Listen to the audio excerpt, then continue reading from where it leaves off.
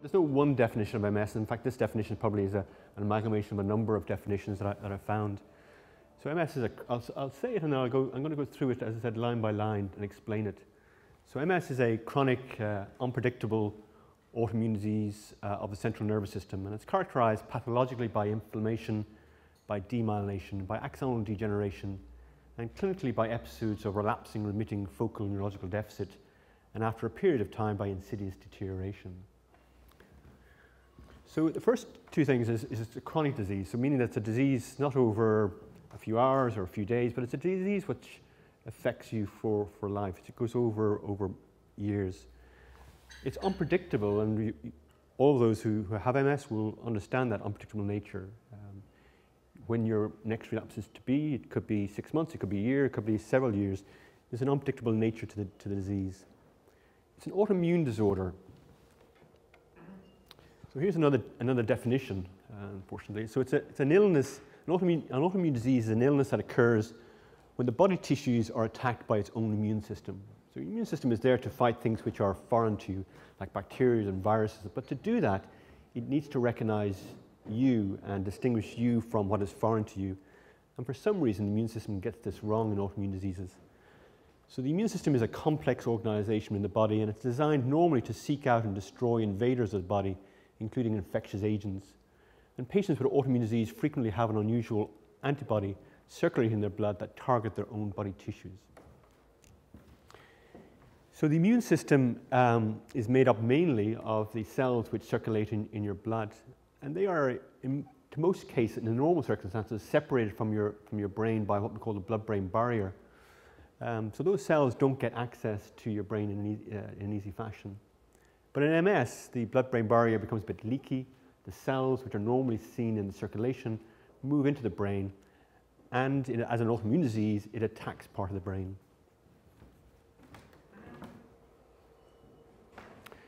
So coming back to that definition again, we talked about it's an autoimmune disease of the central nervous system. So what is the central nervous system? Well, on the left, you can see um, uh, an MRI scan of brain and spinal cord. And the brain and spinal cord is what we call the central nervous system.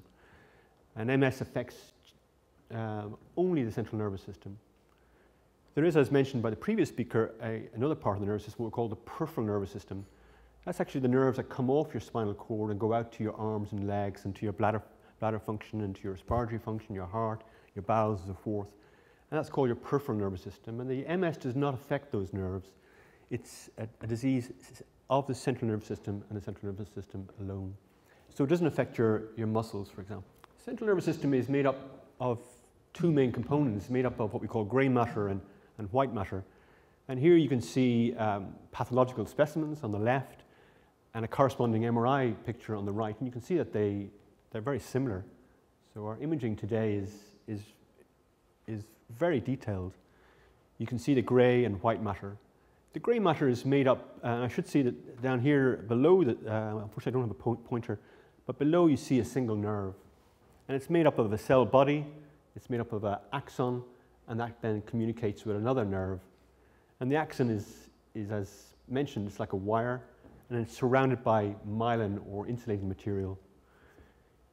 The grey matter of the brain is made up largely of the cell body, and the white matter is made up largely of the, the wire or the axons with its myelin.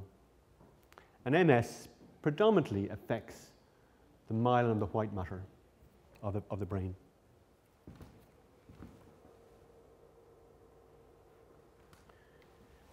So uh, MS is a chronic, unpredictable autoimmune disease of the central nervous system. It's characterized pathologically by inflammation, which is what that autoimmune process, the immune cells passing over the blood-brain barrier into the brain and attacking the, the, the central nervous system.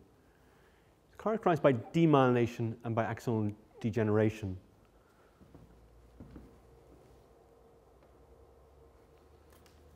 So you've seen this uh, diagram on the left-hand side, the cells crossing the blood-brain barrier into the brain.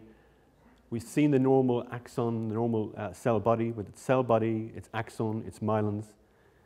And that immune system, that autoimmune system, attacks the myelin surrounding the axon.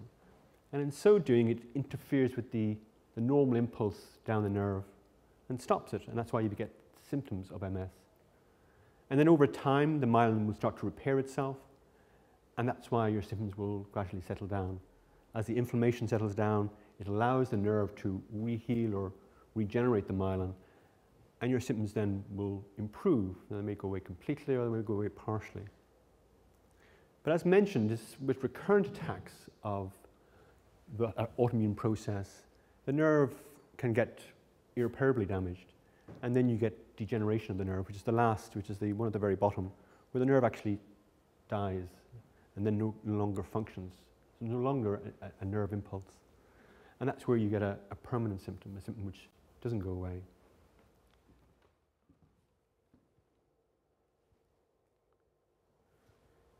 So what's an acute relapse? We call it an exacerbation or a flare-up or a clinical event or an acute at uh, attack. It all means the same thing. So relapse is a collection of new symptoms or it's, uh, old symptoms that have reappeared because of new inflammation and, and because of demyelination, that stripping of the myelin in the central nervous system, the brain and spinal cord. And it occurs in the absence of fever infection and usually occurs over a short uh, uh, period of hours or days. So that inflammatory process come, doesn't come on instantaneously. It takes a period of time for it to cross the brain barrier, to get into the brain, to strip away the myelin. So it takes hours to days to do that.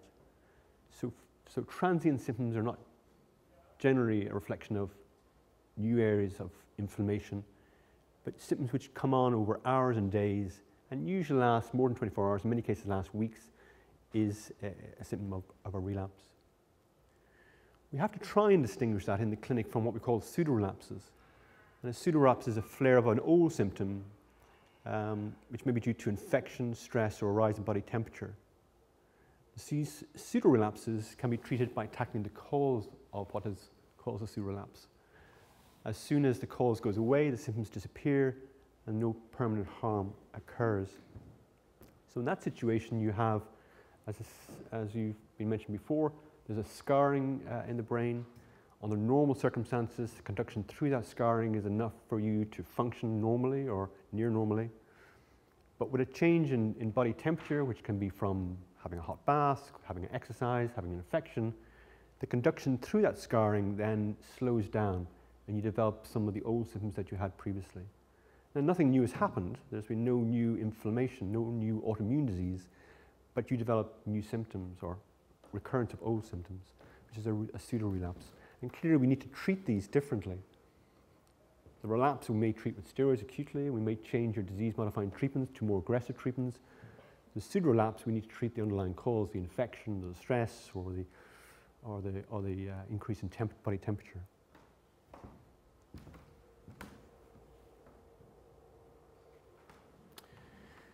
So you all know that there's a different sort of patterns to MS. And the most common pattern is what we call relapsing remitting pattern, which is the pattern at the very bottom.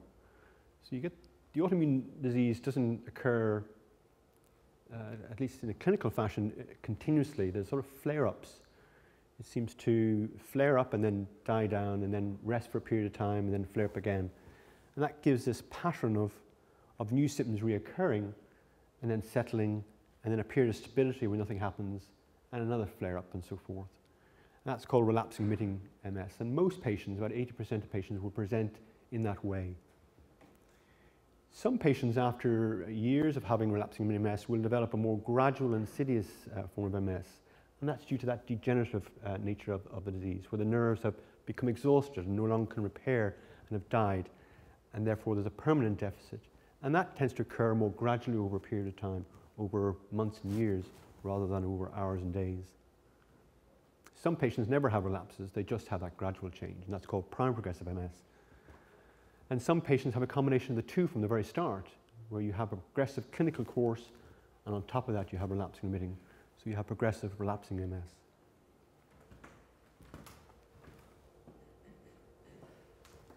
Here's a, uh, an MRI scan. Uh, so the top MRI scan is an axial cut through the brain. So, um, and you can see there's a, a, large white area to the left of, of the scan. So that's an area of inflammation. Those cells that were in the blood have crossed the blood-brain barrier, have got into the brain, and are attacking the, the central nervous system and stripping away the myelin.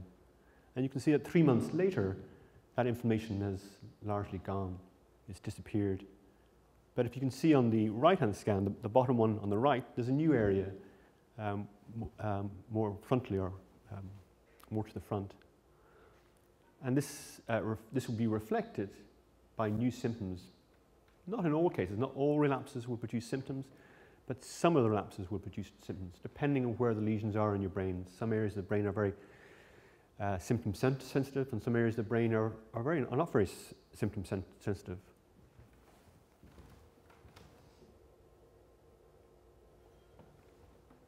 This reflects the degenerative aspect of MS. When those nerves are permanently damaged and they die, you get a, a, an atrophy of the brain, a shrinking of the brain, a loss of brain tissue. And these are, this is the same patient, but over a period of, of years. And you can see that the central, what we call ventricles, these large black areas, which are usually filled with fluid, usually relatively small in, in young patients, uh, become larger and larger as the brain has, has shrunk away. And you can see also on the outside that the brain is enfolded on itself, and those infolds become wider and, um, as the brain uh, atrophies.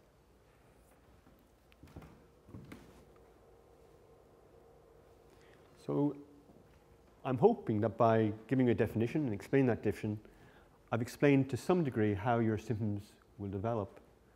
They develop because of acute relapses, and depending on what part of the central nervous system is affected, will determine what symptom you might get. And clearly, your central nervous system controls almost every aspect of, of your, your body, and therefore you can get a, a large array of symptoms developing. And whether they develop acutely or whether they develop more gradually will depend on whether it's due to new inflammation, an acute relapse, or whether it's a more degenerative process, a more gradual dying back of the nerves. Um,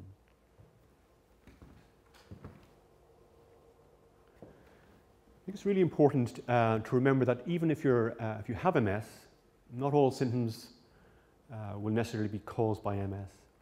And therefore, you should always speak to your doctor if you feel uh, unwell, just as uh, you might do before your diagnosis.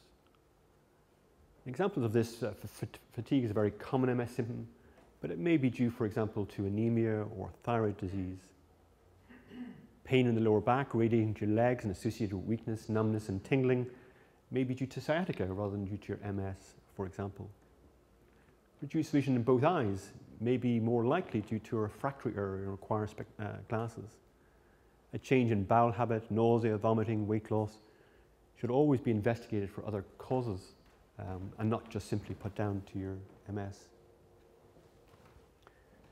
Some symptoms which are not associated with MS, at least not directly associated with MS, would include things like uh, headache and neck pain, lower back pain, joint uh, pain and stiffness, or swelling, weight loss, stress, urinary incontinence, deafness, earache, psychosis, shortness of breath. The list is not exhaust exhaustive. Um, uh, some symptoms which are rarely associated with MS, especially in the early stages of disease, include cognitive impairment, seizures, and sudden loss of function. It's not to say that these things don't occur in some patients at an early stage, but in, in general they occur late, if they're going to occur, they occur uh, late on in the course of the disease.